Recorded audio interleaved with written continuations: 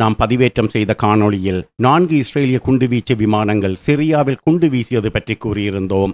அந்த காணொளியின் முடிவில் இஸ்ரேலிய விமானங்கள் குண்டு வீசிவிட்டு சென்றால் சிரியா சும்மா இருக்குமா என்று கேட்டு முடித்திருந்தோம். அந்த சம்பவத்தின் தொடர்ச்சியாக மற்றொரு சம்பவம் நடந்திருக்கிறது. ஆனால் அதன் முடிவுதான் தலைகீழாக அல்லது ஆன்டி கிளைமேக்ஸாக முடிந்திருக்கிறது. இஸ்ரேல் மீது எந்த நிமிடமும் ஏவுகணை வந்து விழலாம் என்ற நிலை இருப்பதால் இஸ்ரேலிய எல்லைகளில் ஏவுகணை எதிர்ப்பு சிஸ்டங்கள் எப்போதும் உஷார் நிலையில் இருக்கும். அதுவும் இஸ்ரேலிய விமானங்கள் சிரியாவில் குண்டு வீசி விட்டு வந்த நிலையில் இஸ்ரேலிய எல்லைகள் அதி உஷார் நிலையில் இருக்கும். இப்படியான நிலையில் இஸ்ரேலிய எல்லையில் உள்ள ஏவுகணை தடுப்பு சிஸ்டத்தில் சிரியாவில் இருந்து இஸ்ரேலை நோக்கி இரு ஏவுகணைகள் கிழக்கிலிருந்து மேற்காக வருவது டிடெக்ட் பண்ணப்பட்டது. வருவது எஸ் எஸ் டுவெண்ட்டி ஒன் ரக ஏவுகணைகள் என்பதையும் இஸ்ரேலிய ஏவுகணை தடுப்பு சிஸ்டம் துல்லியமாக காட்டியது. இந்த ரக ஏவுகணைகள் செல்லக்கூடிய அதிகபட்ச தூரம் அதாவது அவற்றின் ரேஞ்ச் நூறு கிலோமீட்டர் அவை தமது முனைகளில் அதாவது ஓஹெட்டில் ஐநூறு கிலோகிராம் வெடிப்பொருளை எடுத்துச் செல்லக்கூடியவை. இந்த ஏவுகணைகள் வரும் வேகம் மற்றும் உயரத்தை வைத்து கணித்தபோது அவை வடக்கு இஸ்ரேலின் நகரங்களை நோக்கி வருகின்றன என முடிவு செய்தார்கள் இஸ்ரேலிய ராணுவ அதிகாரிகள்.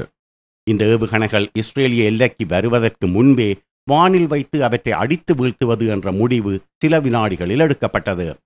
இதற்காக டேவிட் ஸ்லிங் ராக்கெட்களை ஏவுவது என்ற முடிவு சடுதியாக எடுக்கப்பட்டு ராக்கெட்களும் ஏவப்பட்டன.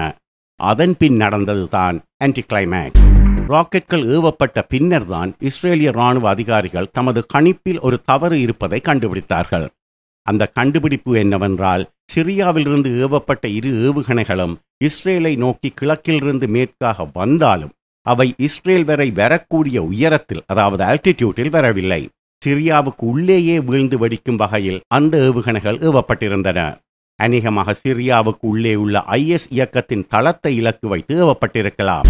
இப்போது இஸ்ரேல் தாம் ஏவிய ராக்கெட்களை உடனடியாக நிறுத்த வேண்டும். ஒரு வழியாக ஒரு ராக்கெட்டை வானில் வைத்து சுய செயலிழப்பு அதாவது செல்ஃப் டிஸ்ட்ரக்ட் செய்ய வைத்து விட்டார்கள். இரண்டாவது ராக்கெட்டையும் சுய செயலிழப்பு செய்ய வைக்க முயன்றால் அது முடியவில்லை. காரணம் அந்த ராக்கெட்டை இவர்களது சிஸ்டத்தின் திரையில் காணவில்லை. மாயமாக மறைந்து விட்டது அந்த ராக்கெட் இப்போது எங்கே போய் விழுந்ததோ ஆண்டவனுக்கே வெளிச்சம்.